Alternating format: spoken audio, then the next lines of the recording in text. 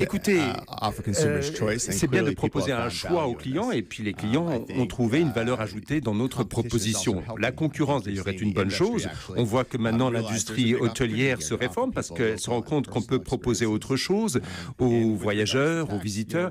Pour ce qui est de la TVA, on est là à long terme et on va respecter les règles fiscales. Donc effectivement, on paye la TVA sur les services.